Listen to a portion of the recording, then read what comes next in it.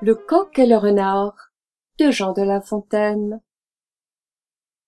Sur la branche d'un arbre était en sentinelle un vieux coq à droite et matois. Frère, dit un renard, adoucissant sa voix, nous ne sommes plus en querelle, paix générale cette fois.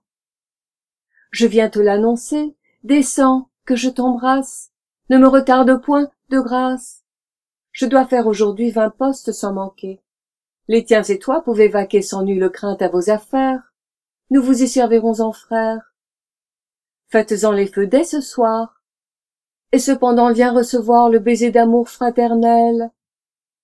Ami reprit le coq je ne pouvais jamais apprendre une plus douce et meilleure nouvelle que celle de cette paix. Et ce m'est une double joie de la tenir de toi. Je vois deux lévriers qui je m'assure son courrier que pour ce sujet on envoie. Ils vont vite, et seront dans un moment à nous. Je descends. Nous pourrons nous entrebaiser tout. Adieu, dit le renard, ma traite est longue à faire. Nous nous réjouirons du succès de l'affaire une autre fois. Le galant aussitôt tire ses grègues, gagne au haut, mal content de son stratagème.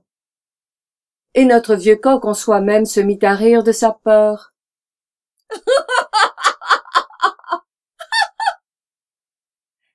Car c'est double plaisir de tromper le trompeur.